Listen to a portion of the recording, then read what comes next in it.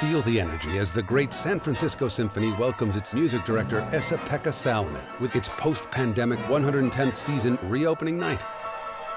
Filled with jazz and dance from special guests Esperanza Spalding, Alonzo King Lines Ballet, and more. Look for the San Francisco Symphony's exciting reopening night on Great Performances.